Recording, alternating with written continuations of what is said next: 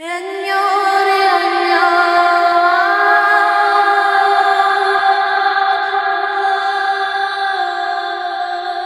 ever gonna take away.